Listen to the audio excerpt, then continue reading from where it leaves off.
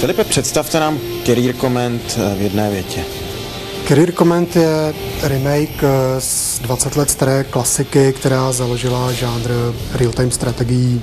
Často je právě označované za zakladatele real-timeových strategií. Já si myslím, že to spíš hraje na pomezí žánru a nemá podle mě v současné době vůbec obdoby do dnešní dny. V čem je ta největší schoda, v čem je ta největší odlišnost? Trochu se to týká e, grafiky a designu. E, původní Career Command byl e, relativně dost e, plochý a nepříliš pestrý a tvárný v pojetí terénu.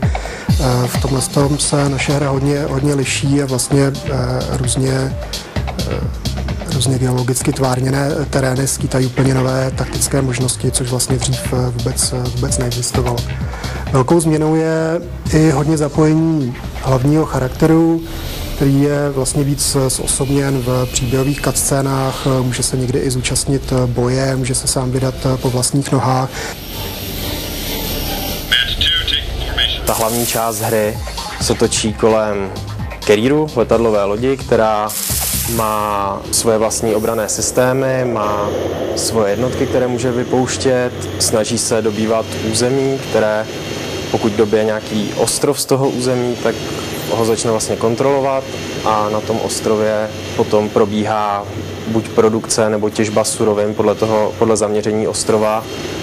Tady zrovna vidíte první misi, kde je, to vypadá jako klasické FPS, což není ta hlavní část hry, je to jenom úvod, kdy se hráč dostane k té, k té lodi, k tomu careeru, aby ji mohl ovládat a nějakým způsobem potom dobývat to nepřátelské území, které v rámci příběhu má dobít, aby vyhrál, pokud možno. Tu ocelenou představu té hře už máte, já vám ukážu ty jednotlivosti, které dělají tu hru hrou, ty detaily. Jedna z věcí, kterou tady vlastně předvádíme jako novinku, tak to jsou God Race. V některých hrách už se to objevilo, my s tím teď přicházím poprvé. Zde je vidět, že to hází nejen velké objekty, je to vlastně průchod světla atmosférou, tak i velmi jemné modely a velmi příjemně to tváří atmosféru. A když jsme u toho světla, Máme samozřejmě, to se musím na chvilku přepnout z této postavy, denní cyklus. Denní cyklus samozřejmě střídá den a noc, A máme tady na to velice jednoduchou ukázku, jak to předvést jako celek.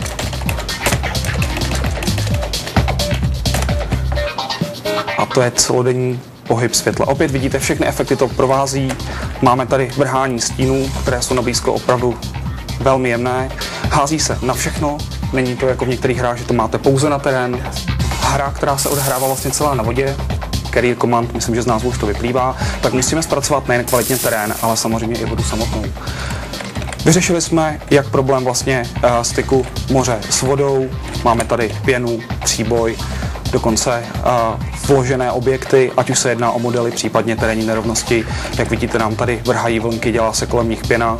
Tady na blízko pak, když se víc přiblížím, je vidět i chromatická aberace, takže máme včetně lomu světla, opravdu simulace té vody je perfektní.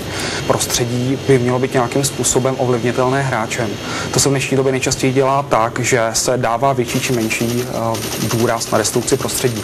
My se snažíme tady opravdu držet trendy a nejenom ty, ale přinášet i nové věci. Takže naše prostředí je skutečně celé zničitelné. Takže se tady opět jenom velice rychle nahodím na prostřed například raketu. Aby to chudák nepřežil rovnou. Vozidlo má nějakou úroveň poškození.